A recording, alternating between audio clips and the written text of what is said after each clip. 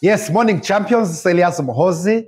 Very delighted to join you this week to share with you tips you can use to grow your business, especially with network marketing. I'm also the author of this wonderful book, The Master Key to Network Marketing Success. Uh, this is our French version. We also have the English version. You can get it from any of the bookstores, especially in East Africa, from Aristoc, from uh, Textbook Center in, in, Nairobi, and also from Dar es. Uh, um, we can also be able to get the French version of this book uh, in the French-speaking countries. Those of us who are new to this channel, you're most welcome. I'm really delighted to share with you tips I've used to grow my business. Make sure you subscribe so you don't miss any of the tips we share to grow your business network marketing.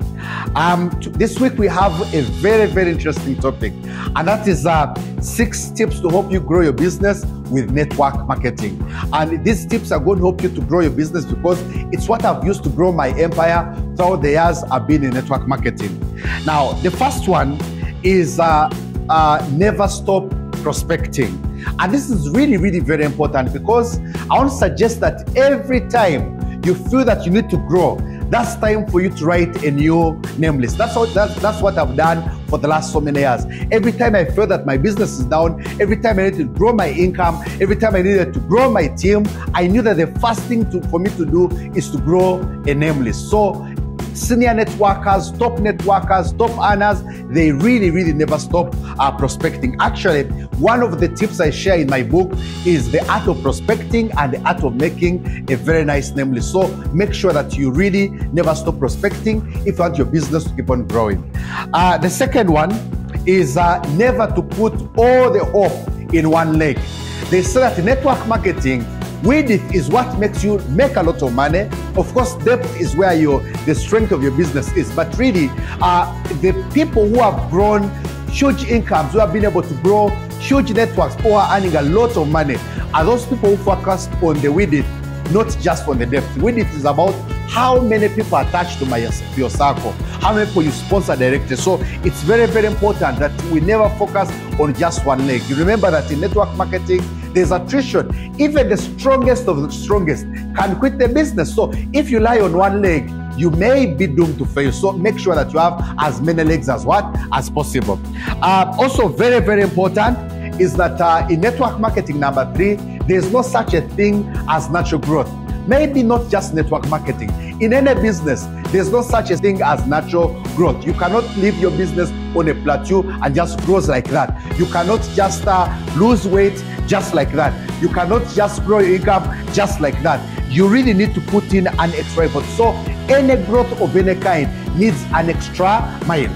Every time you feel that you're relaxing, even when your income seems to be stable, I promise you it may go down eventually because um, um, when you leave it to, when you leave your incomes, when you leave your business on the natural growth, slowly by slowly it comes, it starts coming down, and before you know it, you are no longer earning the amount of money you should be able to be, be earning. So make sure that you go the extra mile every time. Every time you achieve one goal, go for another goal. Achieve this other goal, go for another goal. It's very, very important.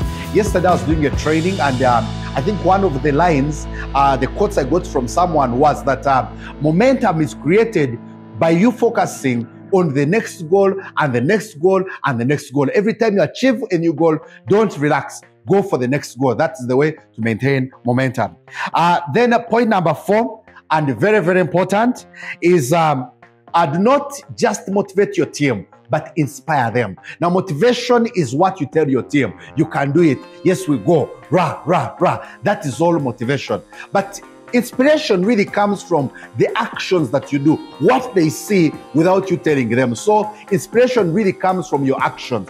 When you take action, your team takes action. Remember, we say monkey do, monkey, monkey see, monkey do. And also, monkey sit, monkey sit also. That's the one of the acronyms in network marketing. So, it's very important, uh, my dear champions, that you really inspire your team with a lot of activity, with a lot of results with your earnings. I have such a very big team of very brilliant people, people who are really stars.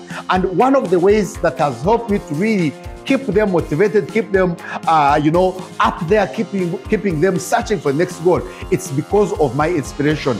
Once I earn a lot of income, it inspires them. I don't have to, to motivate them. Once I do activity, it inspires them. I sign up a person, it inspires them. I go for a new market, it inspires them. So it's very important that we really inspire our teams through our actions that we do on a daily basis.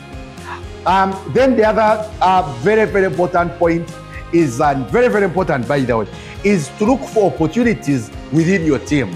Now, I know that um, generally speaking, we are always looking for opportunities outside. I normally meet so many people in my office to come to me like, applying, please, uh, you know, give us tips. How can I grow? Where, where are the answers? Give me something. And sometimes I tell them, you know what? The opportunity lies within your team. Now, what opportunities should you look for within your team? Number one, uh, the new sign-ups within your team. Remember that every new sign-up comes with a natural market. Are we together? So it's very, very important that every person that joins your business, you meet them personally, get to know um, um, um, um, exactly why they join the business, which market segment they represent, what are their dreams, and they will bring new motivation, new energy. So they don't uh, keep on looking for new sign-ups uh, who will join your team before focusing on the ones who have already joined your team.